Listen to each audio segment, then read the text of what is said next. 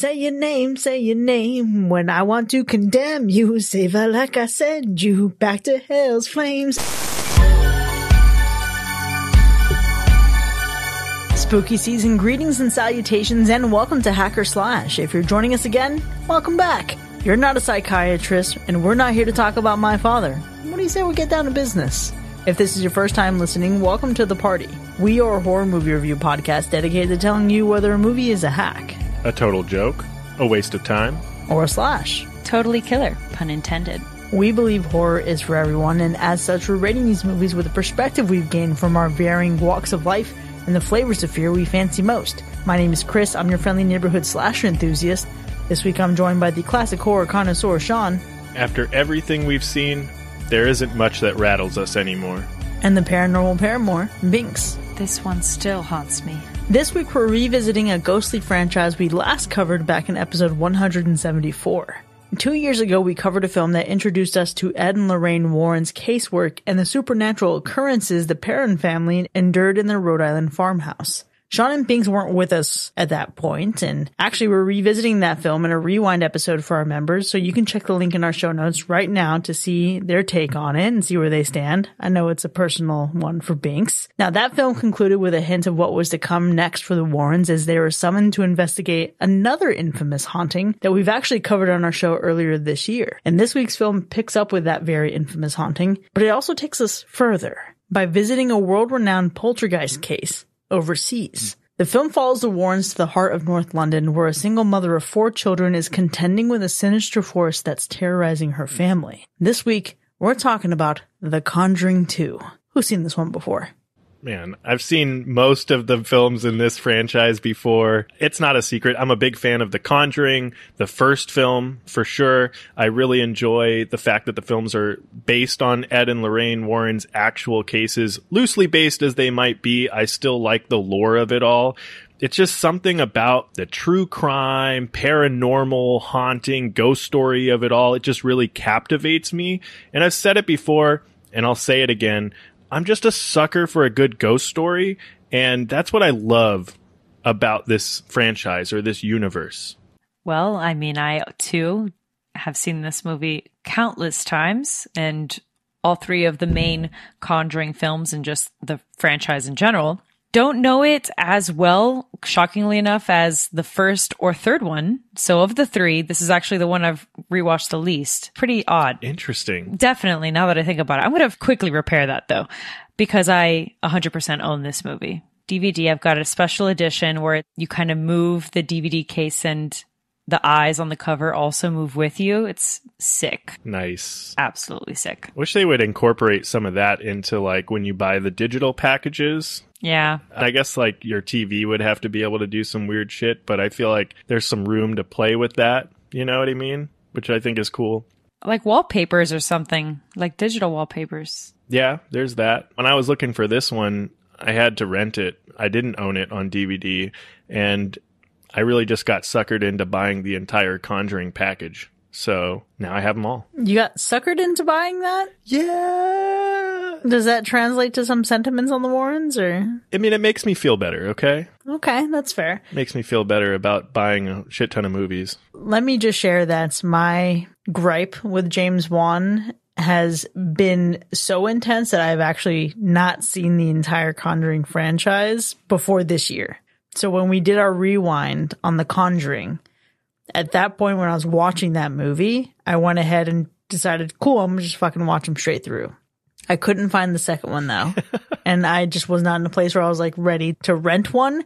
So I skipped to the third one. And I was like, oh, all right. This is a different experience than I was expecting. So going back into watching this one, I could see the bridge between the two and thinking of it, you know, obviously the third one has a lot of a true crime aspect to it, but going from the spookiness of the first one and then thinking about the atmosphere of it and then the way that this one kind of sets into this it's honestly more it feels more like an investigation to me than the previous one did. Hmm. I was like all right i can say that everything i've thought about this franchise is completely wrong and i went into this with an open mind. I will say that i was expecting some pretty cheap jump scares though. That is one thing that I could not bring myself to to just let go of. I think it's fair, right? To think or expect that there's going to be some cheap jump scares because it's James Wan you know what I mean? So I feel like that's just what you would expect out of something like this. I'm just expecting, well, one, I know that this one is obviously about the Enfield poltergeist. And from what I do know about that, this is another one that gets kind of murky. Some people think it was a legit haunting and others think it was like a, a complete hoax. And as some of you may know by now, I'm a little skeptical when it comes to sequels. So I remember being really hopeful for this one to really deliver as well as its predecessor, but also admittedly a little doubtful that it would. It's hit or miss sometimes. But what I do know is it makes for an interesting film concept, and I'm curious what they can do with it. So that's really my expectations going into this. For me, this rewatch was interesting because it's so well timed with the fact that we had just done The Nun a few weeks ago and also having watched The Conjuring. In general, it's just well timed to put yourself in the atmosphere that is the Warrens and this franchise as a whole.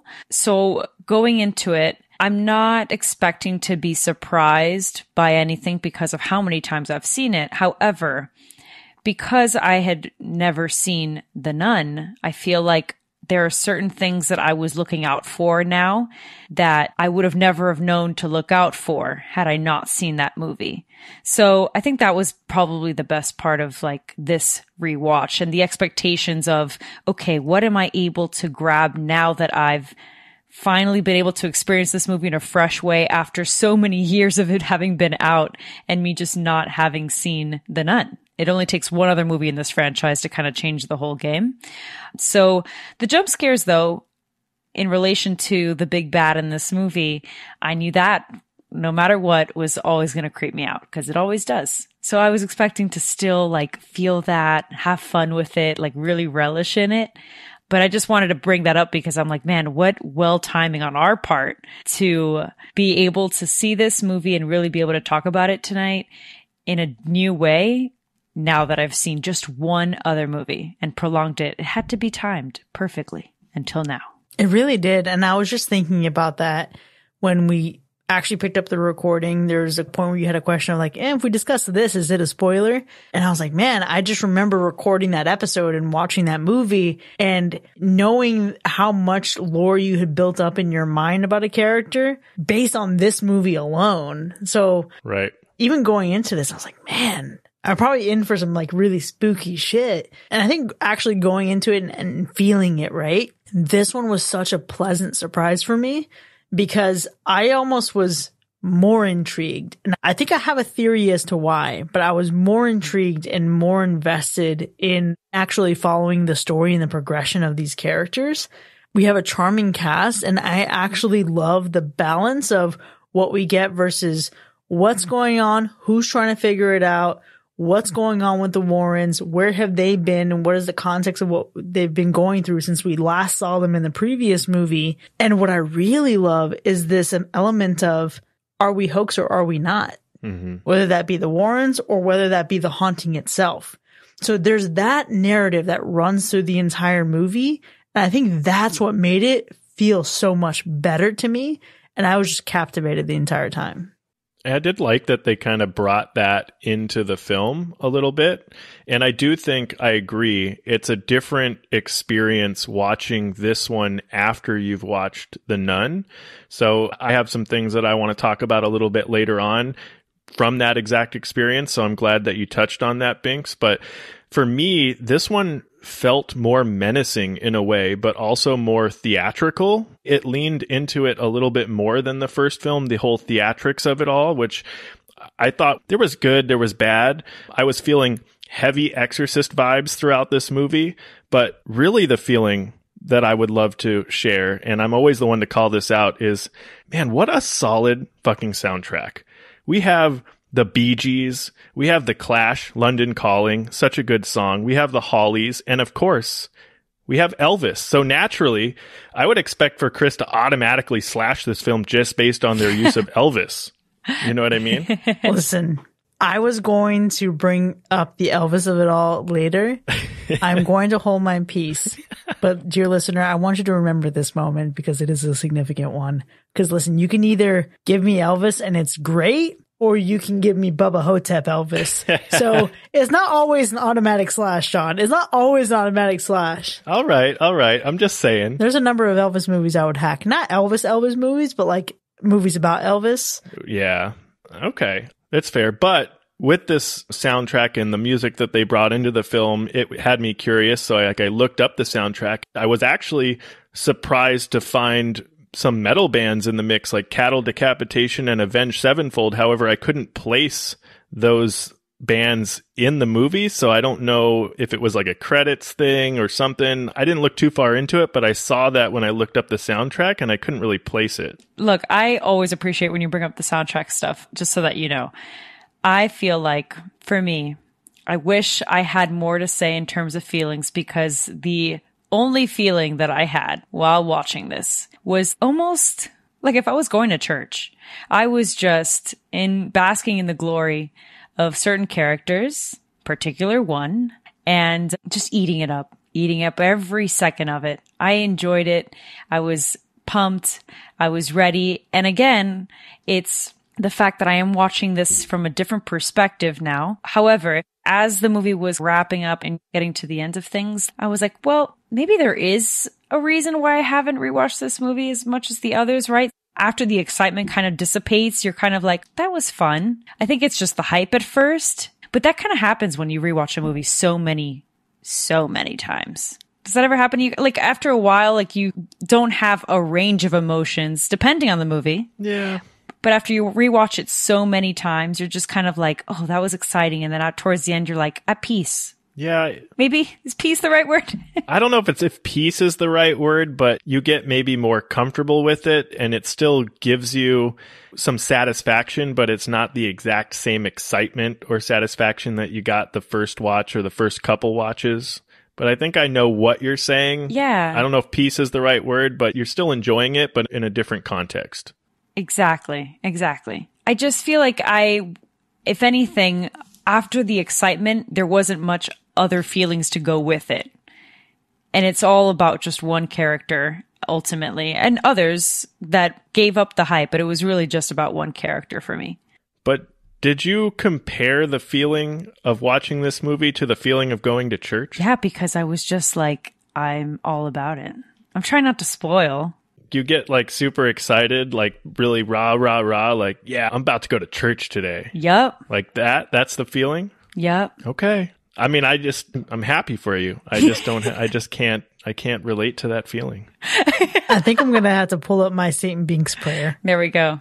Light the candle. And whether you had such a range and all the times that you've experienced watching this movie, I can relate in some ways to the sensation of, okay, you have this long stretch of experiencing a movie and then sometimes you just have peace. It's not exciting anymore, but I think that's almost like a good love story, right? It's not always going to be the fireworks and the dynamic, but one of the things that I found really surprising for me, and maybe this was also because I was I wouldn't say totally tainted or skewed by your perspective, Binks, when we did our episode on the nun. I was surprised how different I felt about this character having seen this movie in a complete opposite order of you. Yeah. It's almost like the order in which I experienced these things painted a picture for me about a certain character. But you and I had two very different experiences. And I think that colored our perspectives very, very differently. I honestly was a little bit disappointed. Interesting. Yeah. Not like it's terrible. Like, don't get me wrong. There is nothing in this movie that I was like, wow, that's real trash. But I think I built it up to be something bigger than it actually ended up being. Like, I think if I had seen this movie first, I would have been like, okay, cool. And I probably would have been more excited when I saw The Nun. Okay. Yeah, I was both surprised and disappointed with certain things watching this film. I was surprised, like, it didn't feel like a repeat of the first film, which is surprising for a sequel. And it really stood on its own. And I really enjoyed that aspect of the film. I was disappointed in the approach or maybe the delivery of some of the visual aspects of the film, which we'll dive into. But I also was super surprised, or at least thinking back to when I first saw it, just surprised at the added layer of complexity in some of the story in which you get this haunting. And it's really, I know we're talking a lot about things that we really can't dive into. So this may be frustrating for you to listen to right now. And it's really hard not to spoil things when we're talking about some of the feelings and the surprises and different things that we got out of this film. But there's some layers here to this film that I thought were really interesting and it was kind of surprising. And some of it I really liked. And then there was some things, mostly visually, that I just didn't like. And it was a little disappointing. But don't worry. You watch it, you stick around, you're going to get some of this juice, if you will. In the spoiler zone specifically. In the spoiler zone. That's right. I agree with you, Sean, because it's very much like, man, we really are walking a fine line with this spoiler free section. That's for sure. I guess I kind of relate to what you're saying, Sean, because it's like I didn't really remember how layered it was. And I think that's what surprised me, aside from everything that else that I've shared in terms of this character I keep alluding to. But there are stories here, like more than one. I think you even said it too, Chris, where it's like the story of this movie. For me, it's plural almost. There's like a lot being said here.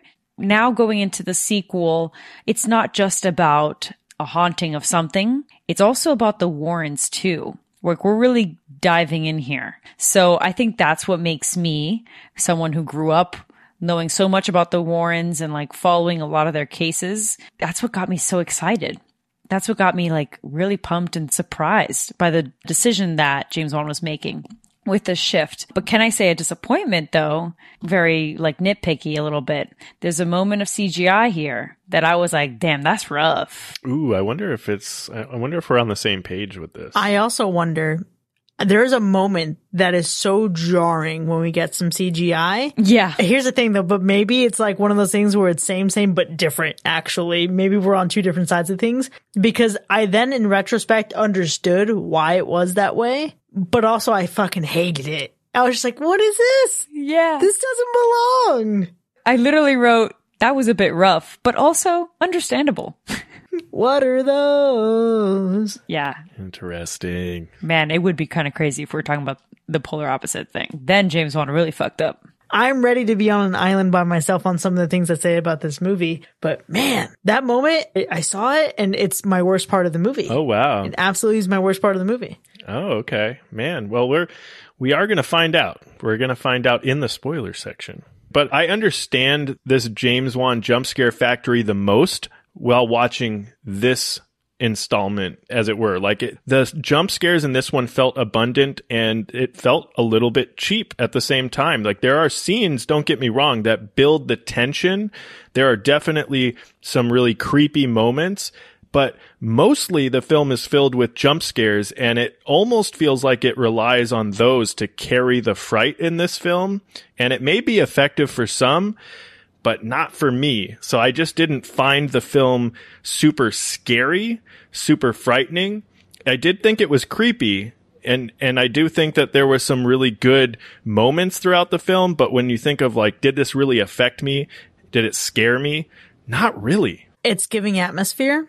It's giving potential. Yeah. It's giving hasn't grown out of the puberty of its own movie yet. Hmm. It has an idea of where it's going to go in terms of the fear, but none of it really clicks. Yeah. It's like it just needs a couple more. Obviously, like I think when you think about like lifespan, right? Like it's those awkward teenage years and then all of a sudden you become an adult and you're like growing into yourself. And that's what this movie is in some ways. In terms of the fear specifically. Right. It has some spooky moments. I think if you're someone who tends to be afraid of kids, maybe this might do something for you. But even then, that's generous. This is one where you sit in here and you appreciate the spooks. Yeah. You're not scared by the spooks. You're not threatened by them. That's it. Yeah.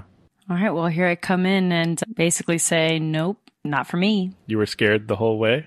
No, well, not this time around. I've probably seen this movie like 10 times, Yeah. except for one particular scene that will always get me every time. But I'm just going to advocate for the peeps that like scary movies but don't consume it that that much. Not that I'm one of them at this point. That's for sure. I always get affected by these jump scares. And when I saw this in theaters, I was terrified and probably the last couple times afterwards in the dark. Absolutely. So I don't know. Maybe it is one of those things where like, if you just aren't easily got by these jump scares or jump scares in general, and especially how James Wan delivers them, then yeah, you can appreciate, but nothing's going to affect you. But if you don't consume horror that often, or if you know this about yourself where you're like, ooh, I don't really fuck with that too much, or little surprises here and there, you might get got. You might get got. I sure was. I long for the days when I was vulnerable enough to feel a lot of these things. I feel like once I really get scared by a movie again, I'm going to know that I am mentally balanced. I am all stable, good to go. Nothing is too overwhelming in terms of sensation. I really miss that feeling. Man, I'm thinking about the first time I watched the Poughkeepsie tapes and it was chilling and it was like, ooh. I long for that sensation. I don't know that even if I could feel that, I'd get it from this movie. But here's what I do appreciate about this movie. It's not unlike anything we've ever seen before, but I think within the context of comparing it to the first Conjuring film, it does something a little bit different. It advances the story. It does a little bit more world building for us. And I think what I love most about it is the impact that this, all this takes on the Warrens and what we see, not only from the alleged demons and spooks that they encounter on a regular basis, but from a societal perspective, from just regular people. There's a character in this movie who you'd be like, yo, that is Mac. Mac is doing this interview right now, or Mac is on stage right now. And to see that and to see them counter that, to see them collide with that, it's not just a hunky dory world where everybody believes in them and everything's cool, but to know that there's that conflict, I really, really appreciated seeing that. And I love the difference that this had compared to its first film. Yeah. The thing with the Warrens and these movies sometimes for me is that it always comes back to it being based on something, some material or some case. But this movie is the start of something really fresh. So I'm kind of at a crossroads here because I don't think that it is fully original, but you can start to really see what James Wan is trying to do here in the bigger picture and really focusing on the Warrens. I said it earlier, saying it again. Like, I think we're really seeing it here and we're leaning into it. So, although you're going to have the typical cut and paste case, it gets ex- explored and investigated and blah, blah, blah. There's something else here. There's several things here that are talked about and those different stories that we've mentioned, there's got to be some type of credit for that. Yeah, there. I mean, there there's room to give credit where credit's due. I think it's original for the telling of the story, right? I mean, it's not original for the uh, like actual basis of the story, but it's original in the way that it tells you the story, some of the concepts that it brings and kind of layers into the story. I think there's definitely originality credit there for sure, but you're not going to get like a lot you haven't necessarily seen before in other movies like this. Like there is a lot of recycled and reused type of ideas and approaches and tactics. So from that aspect, from purely just the way the film delivers some of these things, it feels less original, but kind of the added layer and concepts that it sprinkles in gives it some of its originality that allows for it to really stand on its own, which I think lifts it up a little bit, if you will. I think another thing that helps lift this movie up is the execution of its ending. I think for a while, actually, I think even from the beginning, you can predict where this is going to go to some extent. But to see it all come together and the way things unfold and the resolution that we get for some characters is a really satisfying watch. Granted, there are a couple moments that are a little cheesy. There's a song that I am reminded of that I will sing for you in the spoiler zone. There is a another movie, a 90s slasher that I am reminded of in this end scene. And then there's one exchange between characters in the very, very end where I was like, all right, okay. I love and appreciate the sentiment of it, but it feels like as someone who doesn't like sweets, I feel like I would have had a cavity if I was existing in that moment with them. But aside from that, like on paper and what actually happens, I loved the ending and the conclusion to this story. Really? You loved the ending? Yeah. Felt fucking great. Oh, here we go. I feel like for me, the ending was a little mid. Oh, this is getting real good. Yeah. Like, I don't think it's terrible. It's just not great. When you say you love the ending, you know, there's some really good endings in, out there, and this isn't in the top. It just, at least for me, Sean's like, define love Yeah. for me one more time. love is such a strong word. Let me break down a little bit of context here. Please. Do I love this in the way that I love the endings of Halloween movies? Nah. Oh my God, Chris. I don't think anything, anything on this planet. Exactly.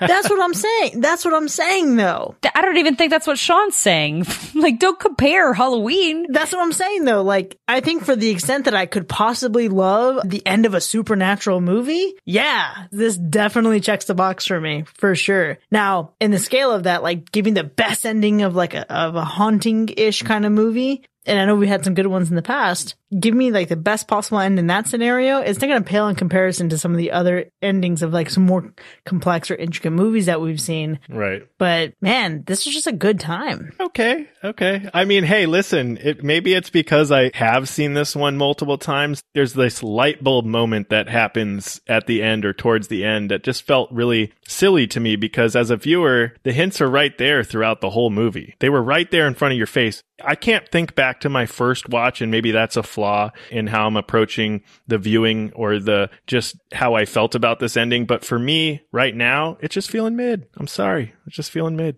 Sean, I- I'll dare to take it a step further below. And it's like the ending to me is just like really cheesy and blah. Cause I agree. Ooh. It's honestly giving Scream at the TV a little bit from how cheesy it is. Now, is it a conclusion? Yeah, sure. Sure. Are there some things that happen that you're like, how did you get, how did this happen? How did you get from A to B? Sure, whatever, fine. And then obviously the biggest one, which is like, it was right there, dude. Come on Right there. right there. So all of that kind of soured probably the whole movie for me, but I wouldn't say that it's enough to just like make it up. It's like terrible either. So if we were to say on the other side of things, like this is a terrible ending, no, I wouldn't take it that far because I've seen some terrible endings. That's for damn sure. But it's not one of my faves. It's not up there in the whole franchise and how they've ended their movies. This is not up there. Okay, the whole franchise or the whole cinematic universe of The Conjuring? True. Yeah, those are two different entities. I'm going to just say of the three. Okay. Of the three, specifically, my least favorite ending. Really? I'm not going to say the whole cinematic because right now, I mean, it's been a bit since I've seen some of them and it is a lot of movies. So I don't want to put my foot in my mouth. so I'm going to lawyer up and I'm going to say just the three. I said what I said. Listen, I want to roll back the tapes a little bit ago when I said I am prepared to be the only one to feel some things about some moments in this movie, and this is one of them, and that's okay. I think we have a lot to unpack in the spoiler zone, so we're going to start making our way there. Before we actually score this movie, though, John, how would you describe the gore score? Yeah, there really isn't a lot of gore here, and that's okay. I don't think there needs to be, but all the same, it's giving a adjust the temp to low and simmer kind of low gore score. It's there, but it's not enough to really get too hot or boil over. You know what I mean? It's low. And what about the animal report? Well, although in real life, supposedly some goldfish died, R.I.P. in the movie, we are completely safe. Let's go ahead and get into our ratings then. The Conjuring 2 from 2016. Was it a hack or a slash? All right, well, I'll kick us off and just quickly say it's hard to follow its predecessor. All right, I'm going to call it. Let's just call it for what it is. Maybe none of the movies will top The Conjuring for me. And I say that in terms of the whole entire cinematic universe. So let's just call it for what it is now and get over it, right? I do think though that of sequels, this one kind of hits and it hits for one specific reason that I can't get into right now, but God knows I will in the spoiler zone. That's for sure. Because I'm going to church and I'm going to preach for sure. this movie is a fun time. It's great with your with the right amount of scares, although I was scared. You guys clearly weren't. I think it's oversaturated a little bit, sure, but I think it's still fun if you're going into this really fresh and maybe you don't consume a lot of horror constantly. I think you'll still be surprised, right? But best of all, it keeps you connected with all the different stories that are going on. And that's kind of hard to do and kind of brave to do in a sequel. I just think it's a lot more fun than you may realize for this kind of franchise and what you may have heard about the Conjuring universe at this point nowadays with so many movies in it. You've got to give this one a shot and you've got to do it because of one character specifically. Trust me, it'll be worth it and you'll thank me later. So it's an absolute slash. Just that one character. That one character, baby. That's it. We're on similar wavelengths here. While I didn't think the ending was all that, and there were some disappointing approaches to things in this film, I still had a pretty good time watching this one. And just like you said, Binks, for a sequel, I was pleasantly surprised that it was able to stand on its own and not feel repetitive or like it was really riding on the coattails of its predecessor. And it really does deliver on a good old fashioned tale of horror that is truly a hauntingly good time. So for me, it's also a slash. Okay, look, the original Conjuring is a great movie. Even for that kind of movie to not really be my bag, it has some moments that are really chilling. The thing about that movie in particular is that no sequel could really ever come up to being that experience again. We had hands coming out of the darkness clapping at each other. That's the level of scare in that movie is enough to really be influential and impactful. So what they did in this movie is not try to recreate that magic, but just continue the thread of enjoying these characters.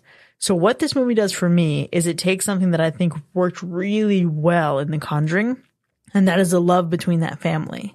And it's falling in love with those characters. But for me, this started much sooner in this movie and it carried and it hit a lot harder for me. I found that a lot of my investment was living and dying by the characters and caring about the outcome of this family and these children and the single mom and even the Warrens themselves, who I don't really care that much about. Like, I think it's cool on paper in theory, but I'm not as big of a fan by any stretch of the imagination as even Binks is.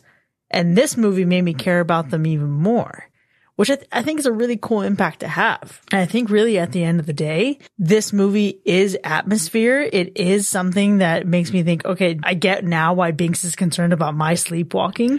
There's some creepy moments in that. And I wish that I had seen this before seeing The Nun so I could have felt what Binks felt going into that movie. But this movie does a lot well. Like a river flows, surely to the sea. Darling, so it goes. Some things are meant to be. You had me at Elvis. It's a fucking slash. I knew it. Sean called it. Damn it.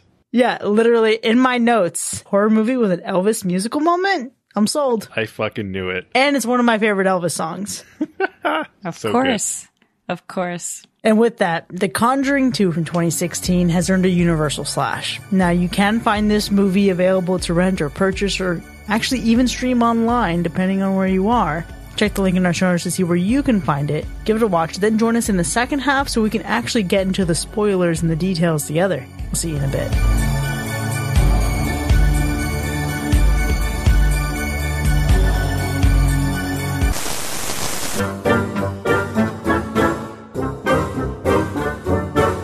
Have you ever looked at a chair and thought, this would look great in my living room if only it had a mysterious past? Look no further than Bill Wilkins' used furniture store. Did somebody die in that antique armoire? Sure, but death shouldn't be a deal breaker when you can snag such fine woodwork at a bargain. Is that a bloodstain on the chase lounge? Maybe. But we like to think of it as a mark of character, an heirloom from another era, making your new old furniture look vintage. Now, you might have heard those rumors about our furniture being haunted, or some random unexplained phenomenon happening around them. But come on, the dead don't need furniture. They're just jealous they didn't find these killer deals while they were alive. At Bill Wilkins' used furniture store, our pieces don't just whisper of bygone eras. They might even whisper your name at night. In a friendly, cozy kind of way, of course. So why not drop by? Let us help you find that perfect piece of furniture where you can rest in peace. I mean, rest with peace of mind knowing that you got a devilishly good deal. Trust me, a ghost of a chance like this doesn't come often. Bill Wilkins Used Furniture Store, where history never really dies. It just hangs around the living room a bit. Come on in, if you dare.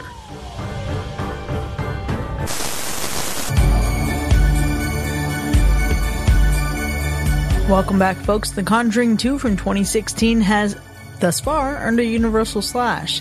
Now, we have a lot to unpack here. There are so many things we had to be vague about and delicate with and not spoil your watch experience. But before we get into our ratings, Sean, obviously it's a very low gore score here, but we do see a little bit of violence at the beginning of the movie.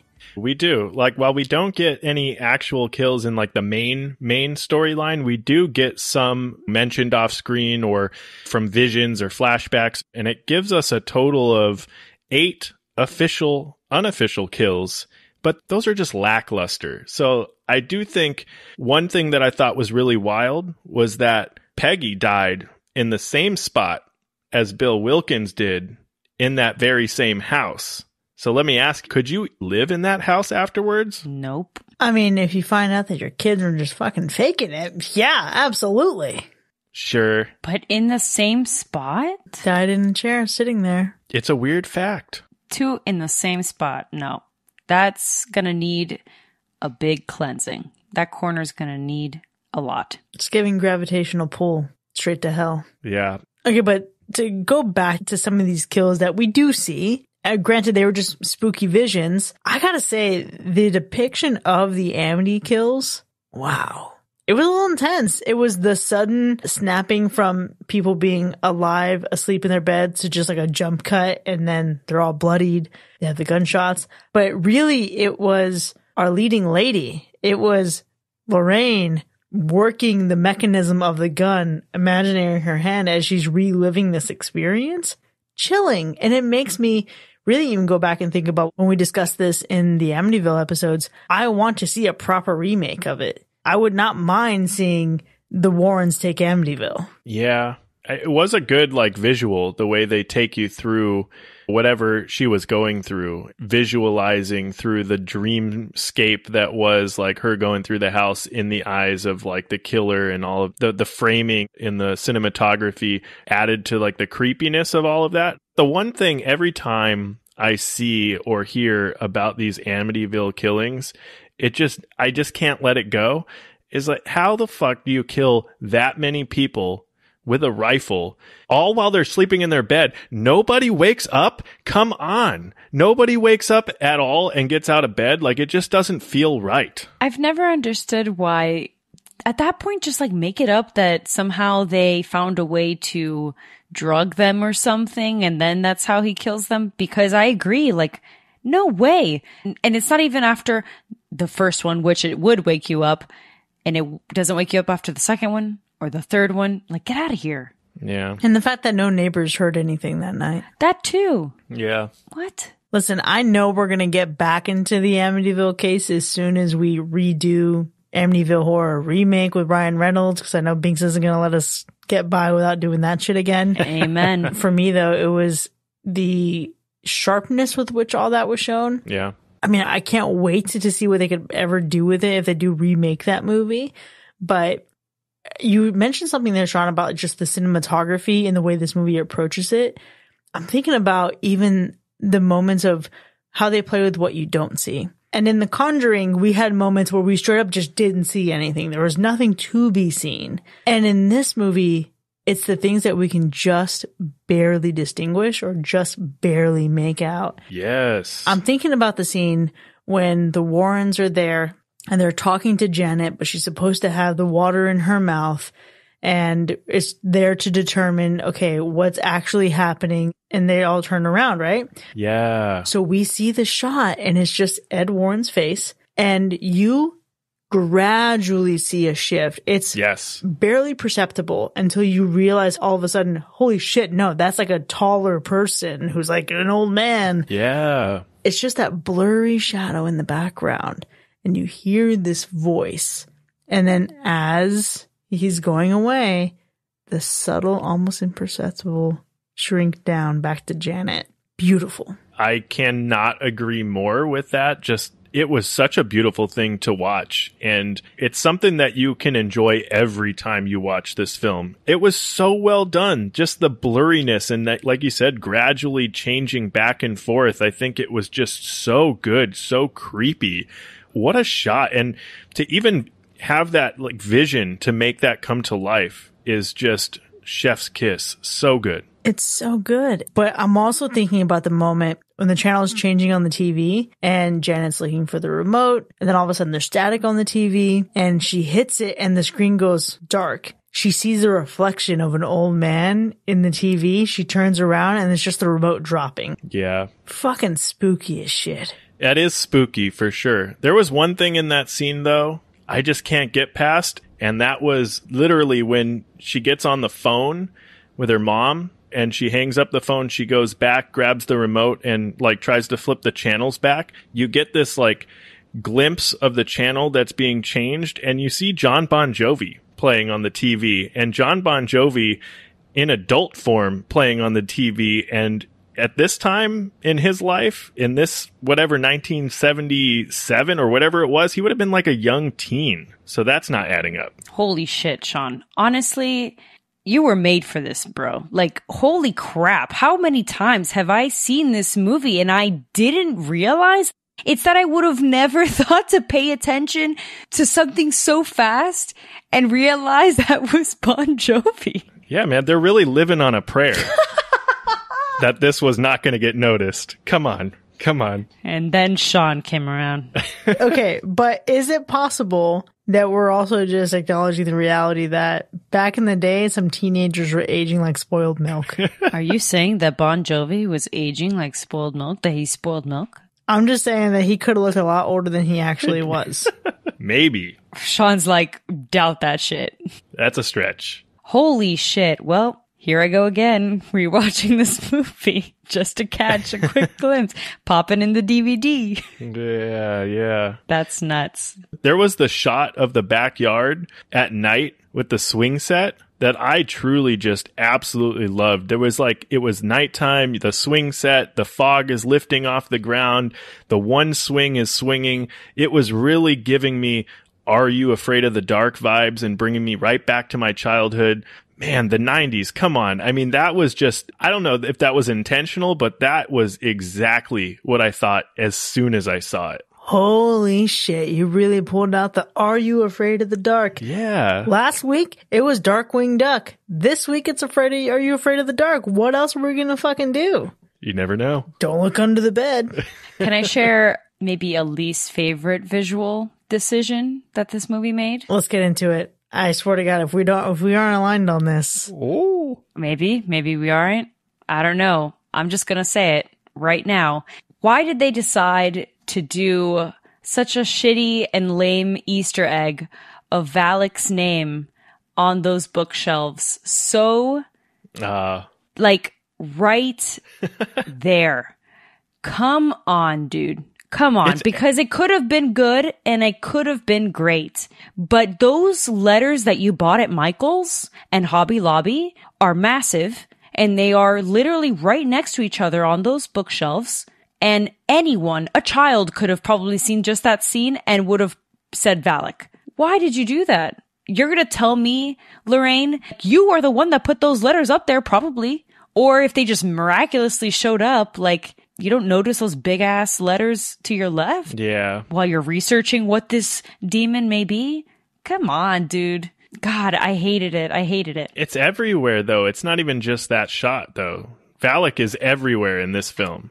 I know, but I think that particular Easter egg is like popular for this movie because of how stupid it is. I think it's just stupid. Yeah. Without a doubt. Valak's presence throughout the movie and that whole bit, like subtly, like literally her in small moments and things, that's a bit different. And I can enjoy most of it. I'm talking about that particular thing was a visual hack. That was a visual hack. A visual hack, yeah. But that, and so it's that one visual added on to the, like the numerous other times that they throw the name Valak somewhere in the background as an Easter egg that just made the reveal at the end of the movie just feel a little bit lackluster for me and a little bit silly. That it, it I don't know. And that's just purely from a viewing standpoint. Like I get that maybe Lorraine didn't notice it or whatever because it is just sprinkled in the background, right? Like you, you see it in the kitchen, you see it in the windowsill, on the counter, you see it on the bracelet, but you see it, I mean, literally fucking everywhere. And I think my problem is typically when they are trying to do little Easter eggs and stuff, the point is for you to want to go back and find all of them. It's that you don't need to. They're right in your face. And it, on a first watch, you're just like, okay, like what is all this supposed to be? Oh, yeah. When you realize what the big bad is, you're like, oh, yep, her name's probably Valak. What? Like it just ruins the allure. So every time that you watch this movie, you're just like, all right, Lorraine, you're smarter than this. Don't be an idiot. I don't know. It's disappointing for sure. I think what's disappointing about that is the fact that I went into this knowing Valak's name and having seen the nun before watching this. Yeah. So when I saw all this on screen, I didn't even register it as a that's real dumb to have it that big in the background because I was like, I don't know that I, I can't objectively say if I would have noticed it or not had I not seen it and known that already. So that kind of like canceled out in my mind. Yeah. Well, I mean, and that's why I say it's purely a viewing standpoint that is kind of disappointing or lackluster, right? Because it is purely from either maybe, I don't know if I necessarily caught all of those things on the very first watch, because I definitely did see this one prior to seeing The Nun. So I don't know how that experience was trying to think back to it, but I do agree. Like you watch The Nun, you watch this one, you know the name Valak it does pop a little bit more and I don't know really what value it adds. Maybe for me, I just caught them a lot all in the first watch because I play a lot of Nancy Drew games and I'm very much like, where's Waldo type of situation. I'm always looking at all the corners. Says the woman with the magnifying glass tattoo. Yes, but clearly not close enough because I didn't see Bon Jovi. So here we are. I'm too busy finding all the Valaks and I didn't notice Bon Jovi. Yeah, you're too busy with your Nancy Drew that you didn't tap into your Hardy Boys. I don't really know if I like how that was said. Uh. that might have been a little borderline after dark. Oh gosh. Okay, Binks, earlier we were talking about some bad visuals. Was that it for you? Yeah. When I was saying, man, there's something that I really disliked and we thought maybe we're on the same page. Okay, hold on though. Was it the crooked man for you? For me, it's the fucking crooked man. Yeah, no, it was the crooked man. Okay. Okay. We were on the same page about that. Just that to me, the my personal worst visual is the Valak Easter eggs because it just gets me upset. But yeah, the crooked man and that CGI was very off putting and like, whoa, what's happening here?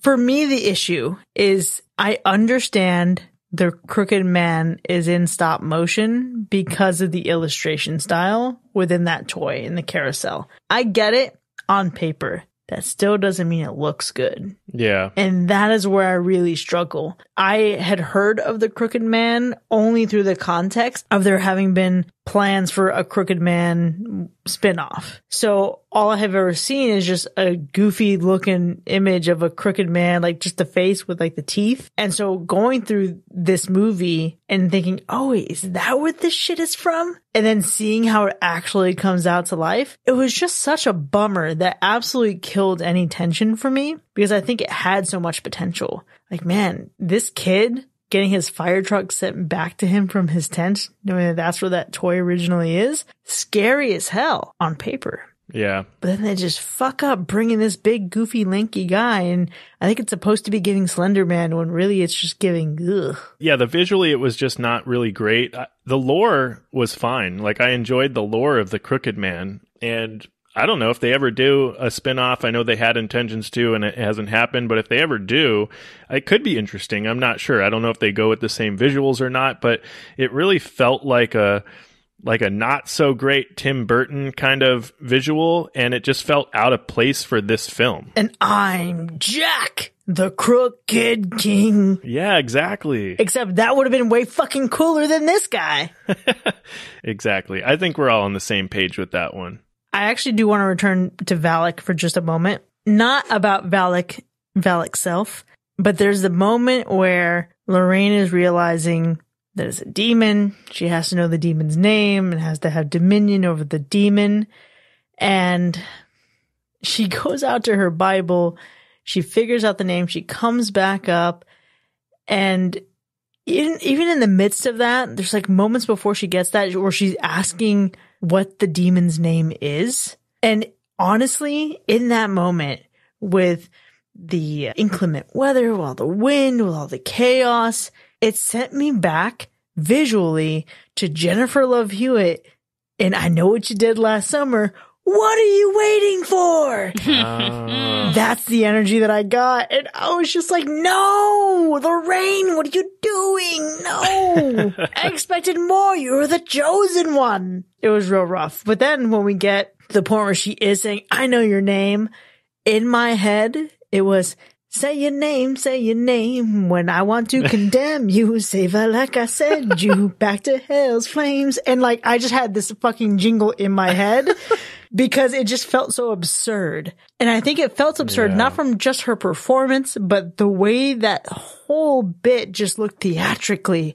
It just felt a little bit too chaotic, like a controlled chaos versus like a shit's really going down.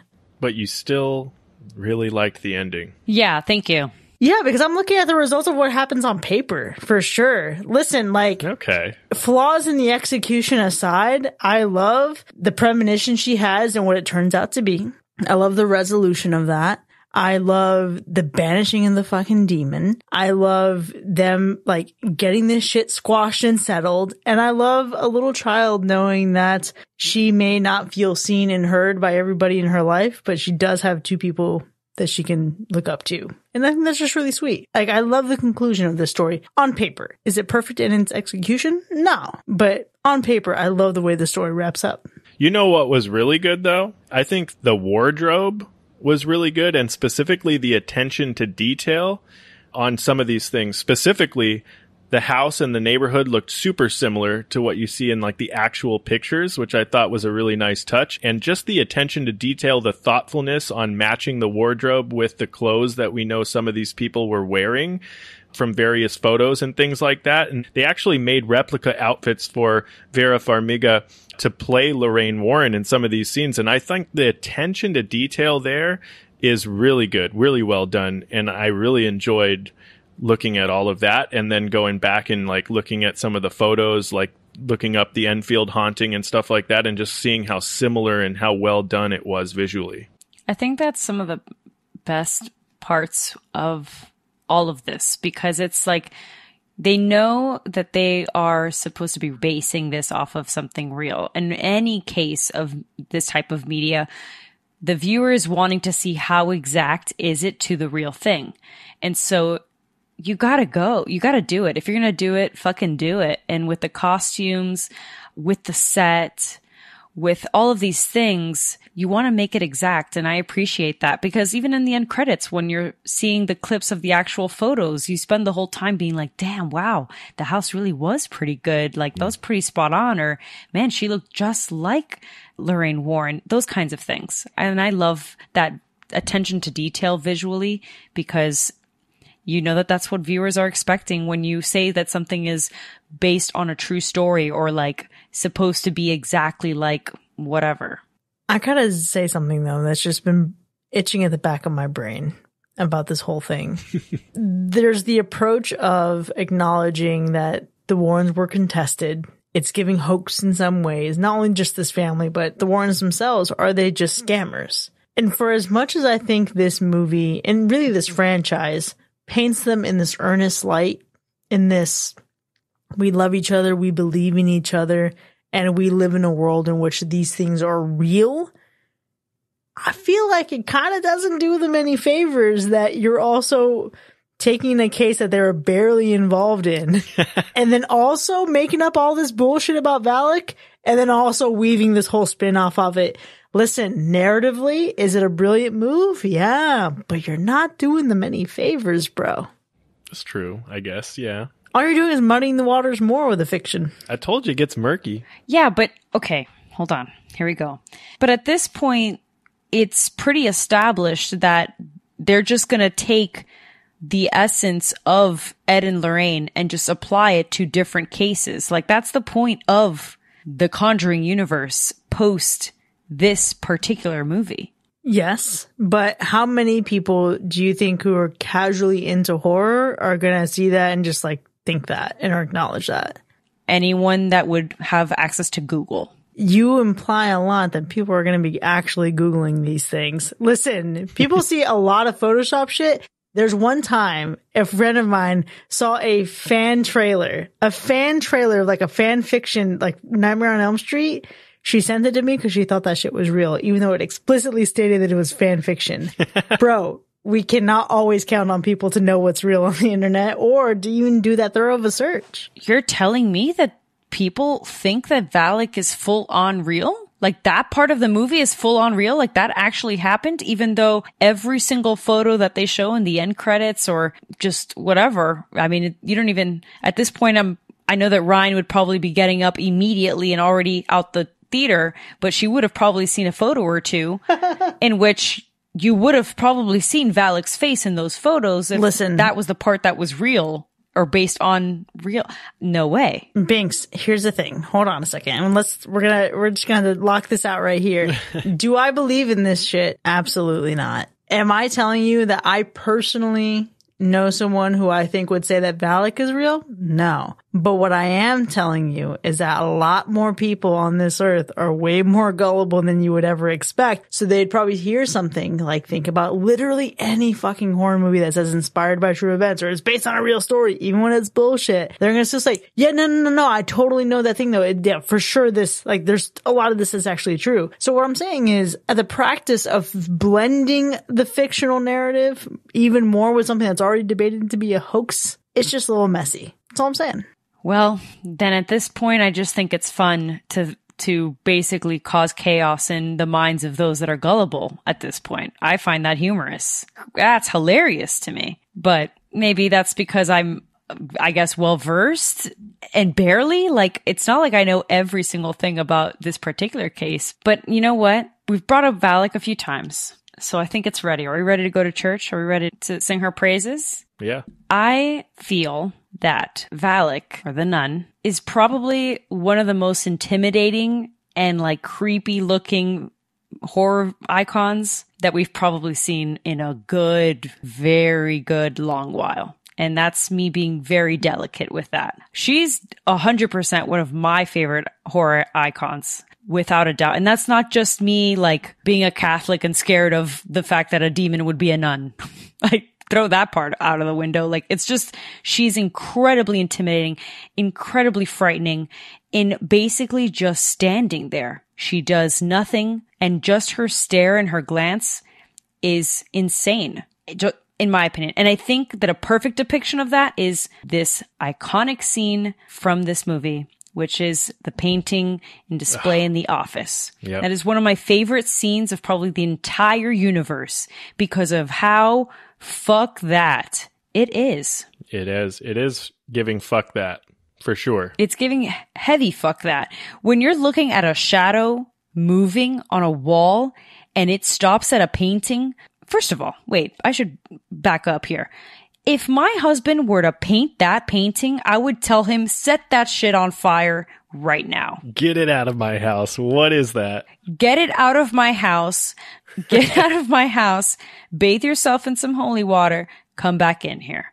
Never do that atrocity again. Really, what this, what the answer is, is if Binks' husband painted that shit, Binks no longer has a husband. It's the end of that, huh? Cut it out. Yeah. Well, and wait, but let me be specific. Like if it was right now, right now, I'd be like, oh my God, that's so sweet. Thank you. Cause I love Valak. But like if this, if I, if like I was Lorraine, right? Or if I was in the world where Valak, I guess would be real, much like some apparently people out there might actually think is true. Yeah, no, I would be like, fuck that, set it on fire. Absolutely. So anyways, you're seeing a shadow stop to a painting and then the lights or flicker and then all of a sudden it's just coming up at you. No way. No way. That was nuts. Oh, It was. favorite scene by far, without a doubt. A really, really great scene in the movie for sure. There's something about it, and I think it really is just being tainted by watching these in what is not release order. Yeah. I found her more intimidating in The Nun than I did in this. again, that's not like a discredit to this movie. I really think it's just Yeah. the influence of it. But I wasn't afraid of Valak in this movie. I found that scene particularly fantastic, Yeah. but not very compelling the rest of the way through. Yeah, I agree with you. Like the, throughout the rest of the movie, it's not like it's specifically looking at Valak, right? It's not the same. It doesn't hit the same as that scene. That scene was super well done. And watching that scene back and watching the shadow go around the room and go to the end of the painting, I was like, hmm, they really just recycled this in the nun. They really just recycled that exact scenario with the shadow walking around the walls in the church. And it's like, okay, is this like a one trick pony, Valak? Is this all you got? Is this just a shadow thing? I'm specifically now thinking of the nun, not taking credit away from this scene because I actually really enjoy this scene. Even though that scene in the nun was a, a favorite of mine, I like this version of that work better in this film than I do in the nun.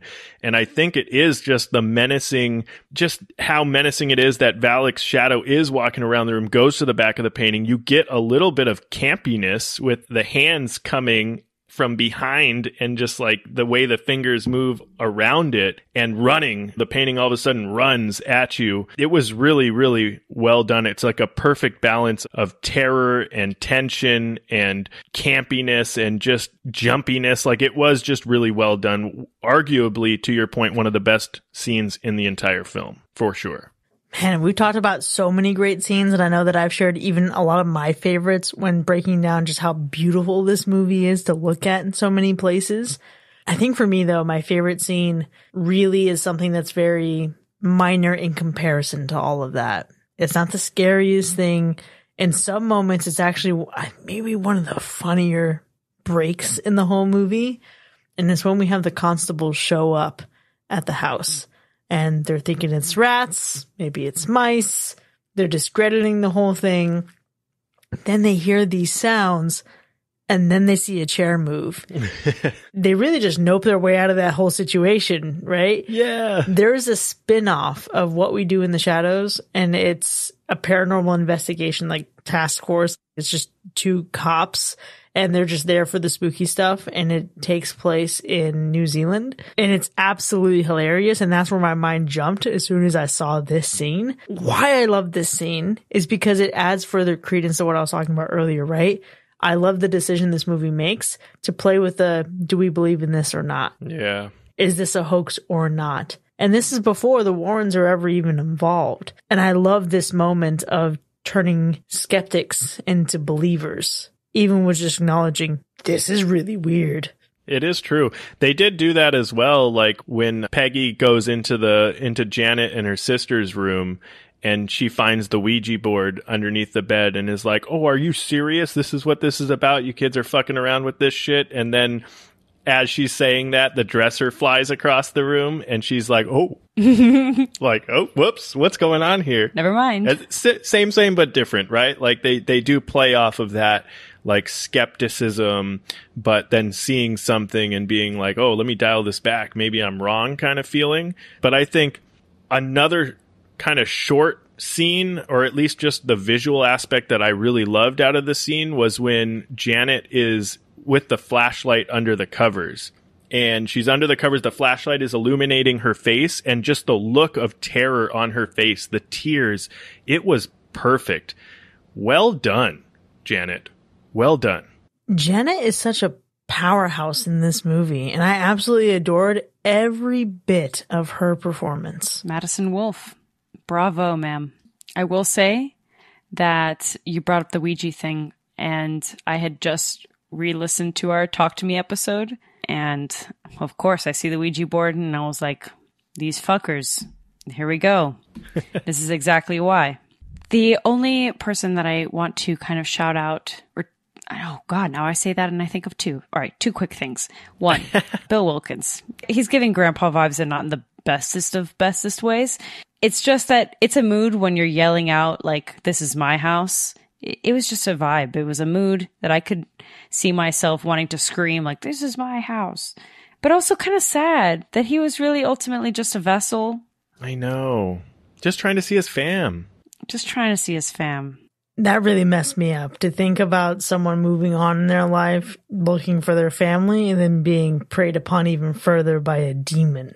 That's what I'm saying. That's that layer I was talking about in the first half that we couldn't dive into. The complexity of like, you get this whole film where you think you're being haunted by Bill Wilkins and the person that died in this house in this chair that's really fucking with these kids. But you come to find out that no, it's not really. I mean, yes, it's Bill Wilkins, but he's being used by Valak, right? Which is really an added layer that was surprising to me and I didn't expect it going into the film, especially for the first time. And now watching it back, it's still just an added layer that I truly enjoy about this film that I think is really great. And I do love hearing when people realize that for the first time. I think it's a really nice touch. Yeah, because it's those stories that I was talking about. It's multiple. It's when you think that Bill Wilkins is the actual villain, but then it's really Valak. But at the same time, this is happening to this family while it's also affecting the Warrens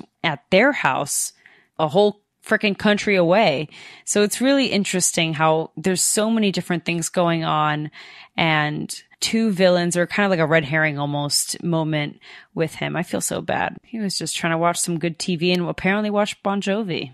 I know. Poor Bill. Poor It's a Bill. You know what was intense though about Bill specifically? Well, first off, Peggy and her neighbor really reminded me of a Rosemary's Baby moment when they're down in the building, like just in the basement doing laundry together. But it's later on when she's down there with Ed and it's flooded.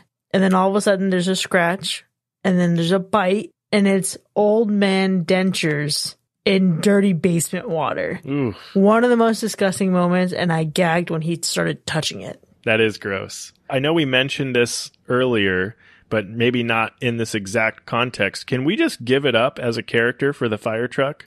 Because it sure fucking felt like a character with the most dramatic entrance music when it rolled its ass into the bedroom. Yeah. Did anyone else laugh during that scene? Absolutely, I did. I chuckled a little bit. And then I honestly, and I can't quite place why, and I've had to actually fight the compulsion a lot tonight to preserve Binks's experience. I was reminded of a particular demon and a song from Insidious. And I can't explain why those two things are linked in my mind, but maybe it was just like how high pitched the fire truck sound was. it was something that I giggled quite a bit with. You brought up the fire truck and it, that is hilarious. I don't know why I thought you were about to say give it up for Ed Warren being able to somehow make it through TSA or I guess at the time there wasn't TSA, but whatever. Like you're just bringing all this satanic shit on the plane with you cross planet. Like what, sir? Uh, Just casual. I don't know. That's what I was thinking about. I was like, how do you even package that? What kind of luggage did he buy to fit it? I don't know. Just the things I think about. Just check it and it's fine. Well, we brought up this particular thing earlier, so I'll just get into what I think is the worst part of this movie. And I'm kind of tied between how cheesy the ending is and honestly the crooked man. Because for me, the cheesiness of the ending, I can get behind what you're trying to say, Chris, about and on paper, it kind of makes sense. And it is a good wrap up. I understand that. It's just so frustrating when it's supposed to be this big reveal, but as a viewer, or I guess maybe it was just me, I'm like, I already know this. I know it. And it's like, now you just seem silly, Lorraine. You just seem dumb. But the crooked man part, it's just like the play on it being the child nightmare kind of thing, sure, but it was just off putting. Ultimately, could have done without. I think where I struggle is perhaps with the name reveal. I don't feel like the name being revealed is actually that much of a big deal, more than it's just the knife or the dagger that would kill the big bad evil, right? I felt like for me, the big reveal is the fact that it is a demon. And granted, you know that the whole time, but them experiencing their reveal, it felt like that was supposed to be the most impactful moment. So I think for me, that's why this isn't even close to being the worst part of the movie. I'll acknowledge there is a brief moment visually. The Crooked Man, I agree with you, is the worst part of the movie. But there was also a moment where Valak was looking like Art the Clown, but like not in a cute way. It was like real silly, really goofy. And it was like a low perspective shot looking up and Valak's face was just kind of stretched. And it was just the most bizarre moment, but it took me out of it. And I think that's again why I didn't find Valak very threatening in this movie. Interesting. Yeah, I mean, there's definitely for me the worst part of the film is maybe not that exact visual, but just some of the visual effects or the visual choices that were made. Like we talked about the Crooked Man crap, right? Like the Tim Burton inspired whatever Crooked Man visual, but also just the way they made sometimes Bill Wilkins look with his eyes like yellow and glowing. It just didn't feel right. I look, I think that there is a time and a place for campy tactics, like what they did with Valak behind the painting good campiness. But what they did with some of the other visuals, it just didn't feel like it really belonged in this type of movie, not one that's really trying to take itself so seriously. And I think that was a little off putting for me. So you weren't down, just to be clear, with famed Sith Lord Bill Wilkins. I wasn't.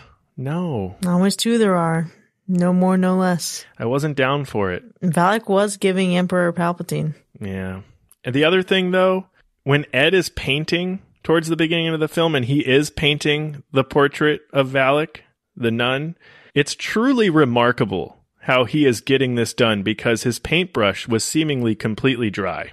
You gotta love that paintless paint though. I mean, fuck. That's great. It's the paranormal. It's the magic.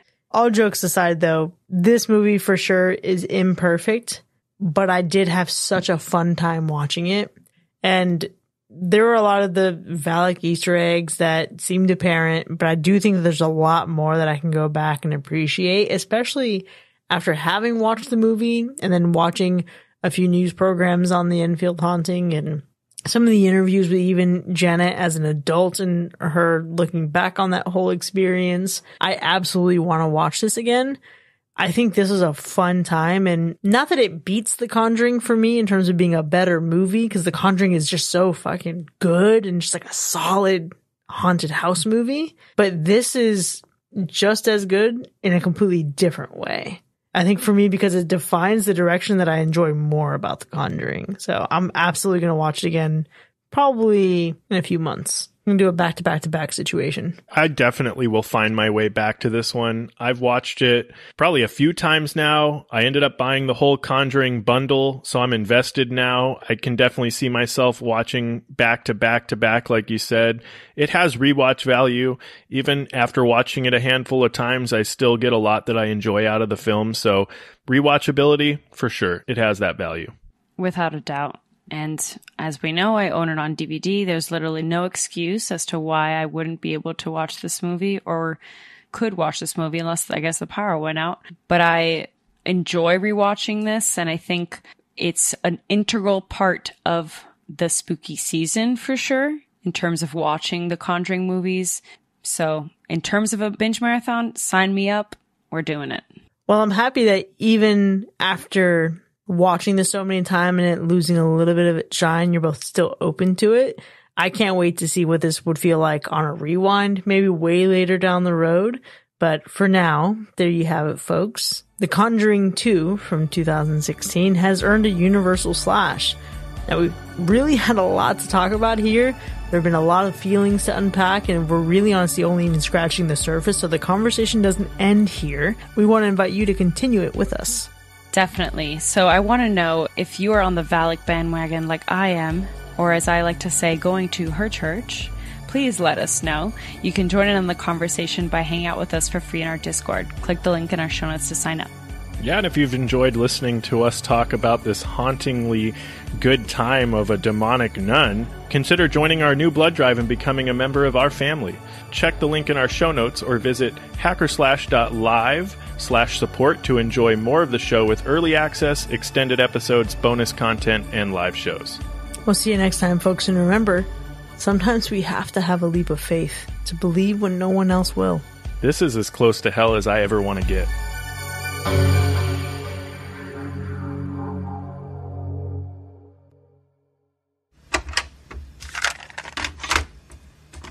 Okay, so I don't know how much either of you know about the Enfield poltergeist, But something that I found absolutely fucking hilarious when I was doing some light Googling earlier.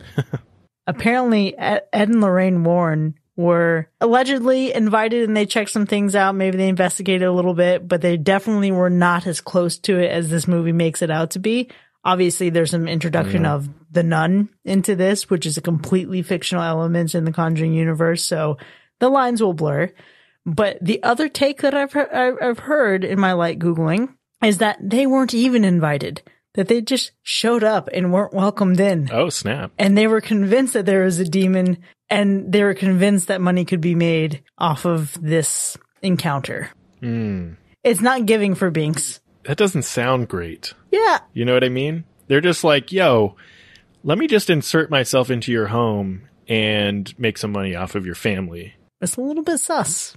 First of all, this is giving Mac. I know. Where is Mac? Come on. We need him for this. We need him for this. I did not know that. And it's not that I'm not believing it because I am aware that Ed Warren has told authors of his books and of these cases to kind of fluff up certain things. All right, fine.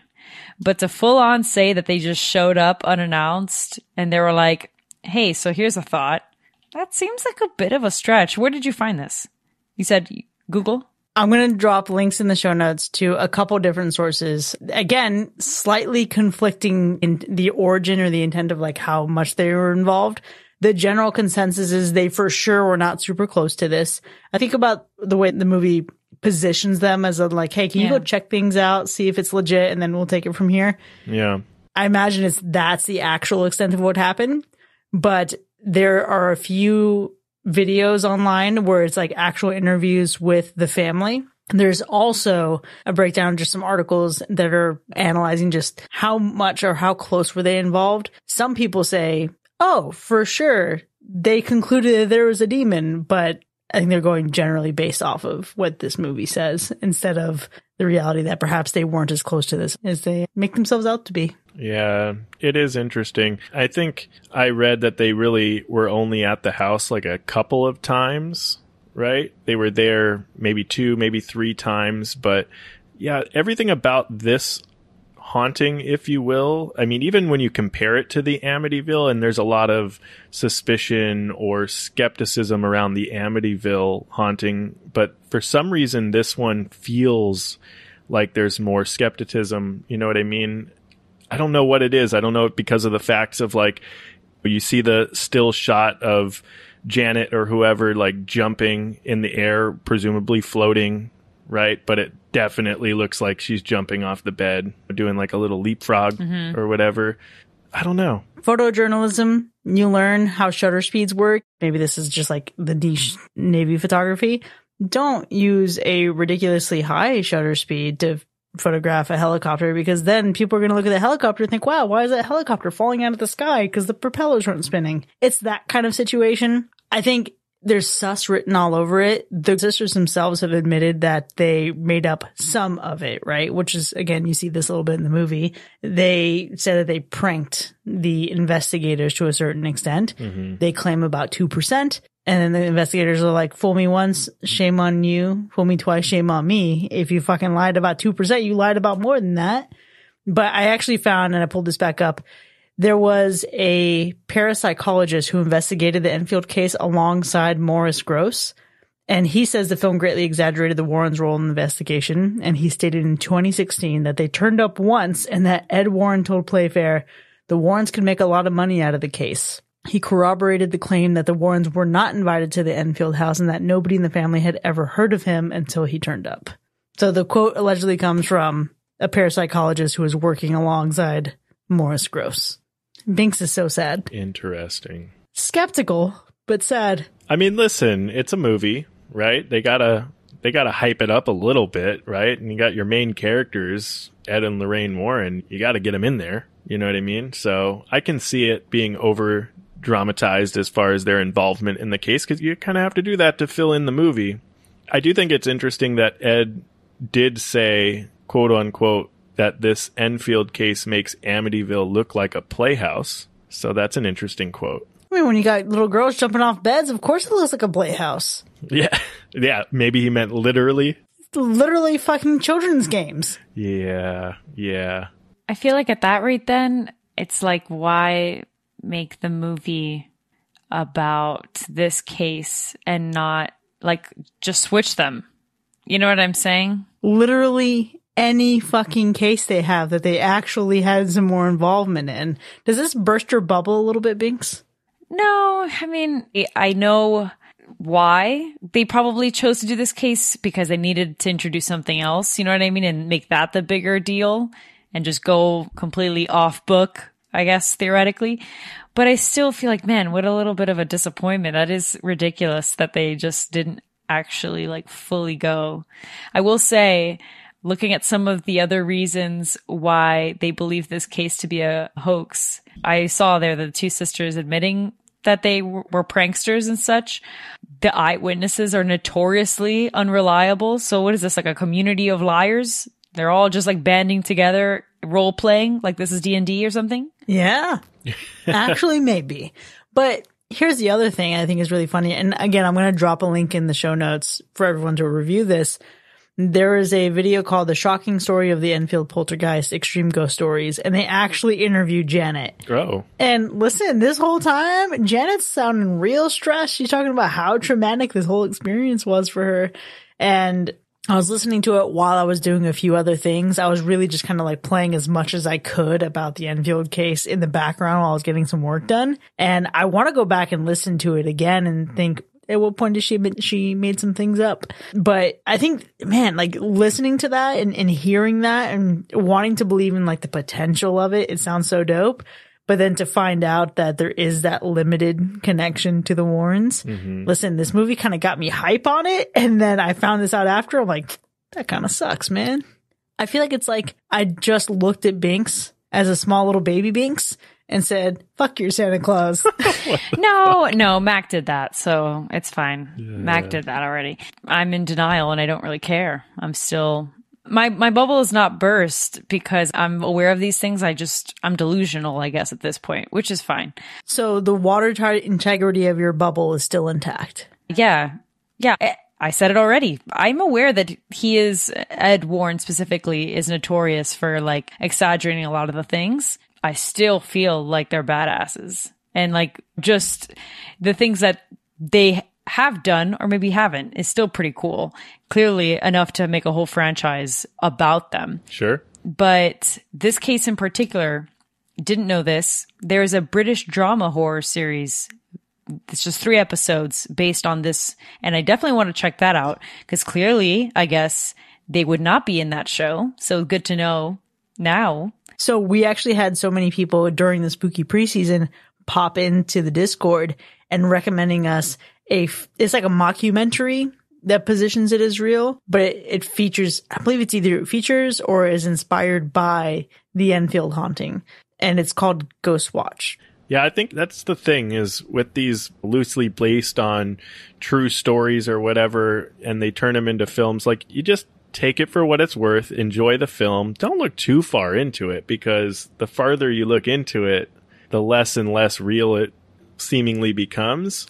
So you just, if you want to have a good time, let's not fact check everything. At the end of the day, we're here to be entertained. There you go. Thanks, Sean. We're not watching a documentary. I'm not here to be lied to, Sean. Oh, I am. What is really interesting is that I'm reading this fact here, and it's saying that Bill Wilkins wasn't the only voice to come through Janet. In fact, there was multiple voices coming from Janet or through Janet, and some of these names, Dirty Dick. What the fuck? Who the fuck is Dirty Dick? This sounds like a bad Wikipedia edit. Yeah, it's saying Joe Watson, Fred, Dirty Dick, Andrew Gardner, and Stuart Certain or something, which all those names are pretty normal except for Dirty Dick. I just don't know how you end up with a name like Dirty Dick.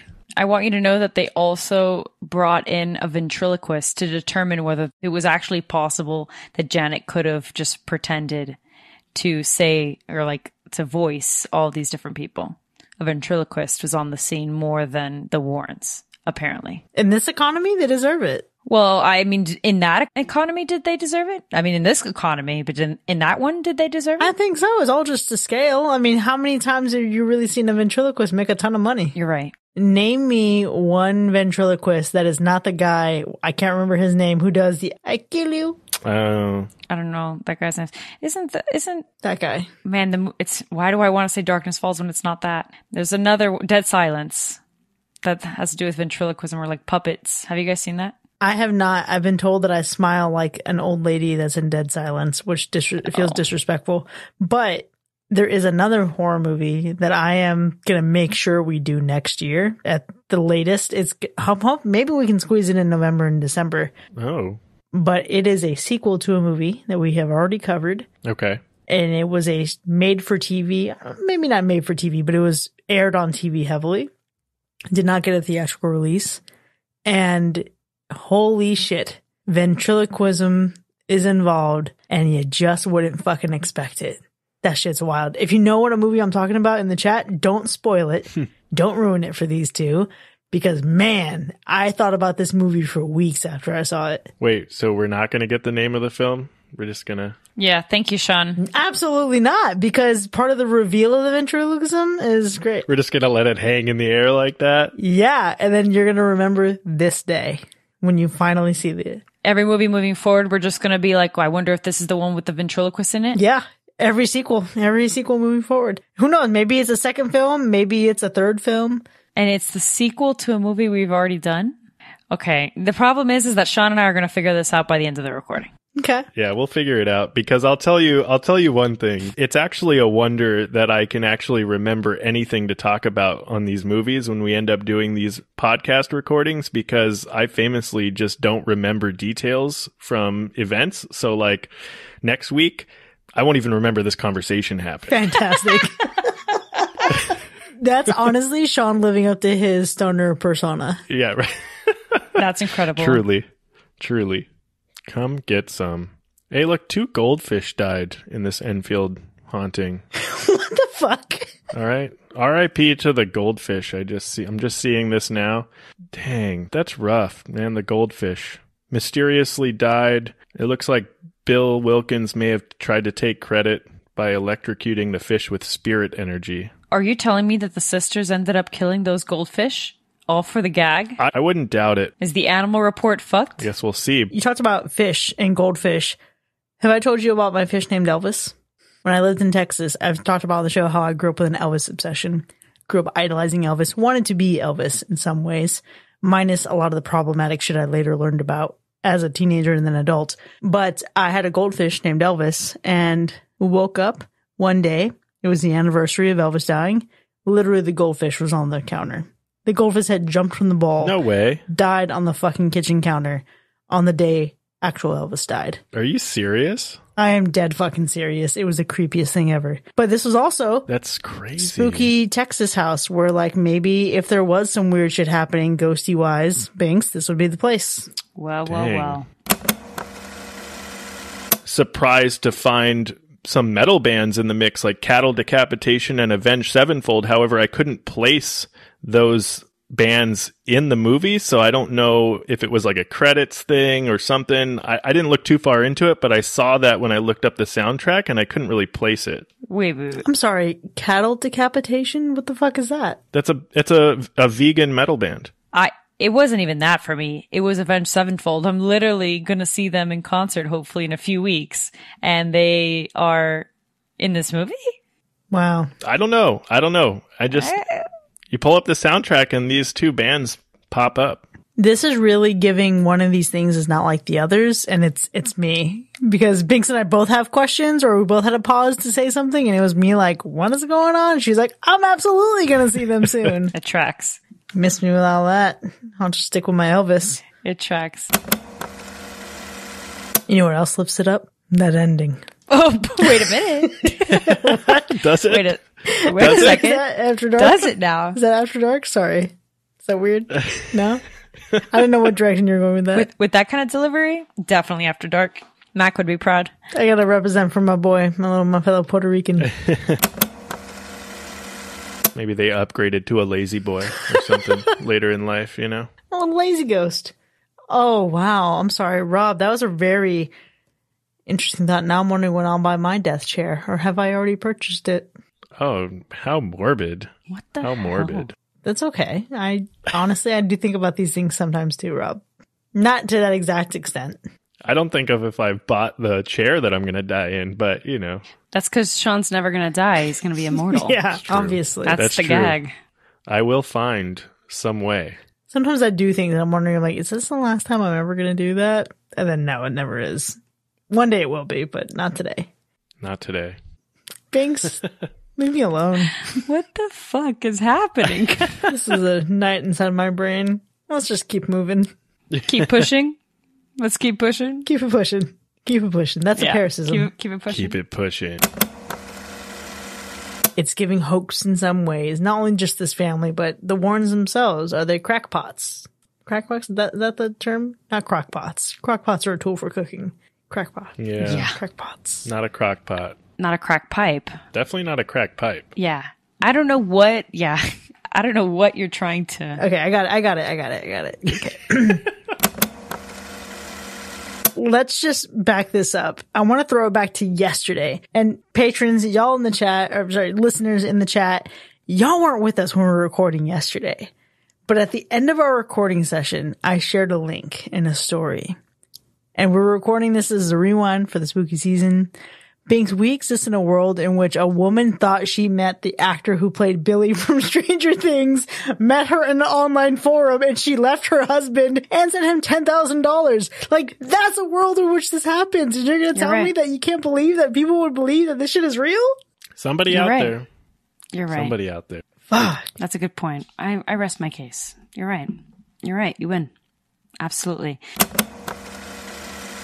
Binks is not amused. Yeah, I'm not. Sometimes I think about like if I had never brought it up, I feel like it wouldn't have been brought up as much.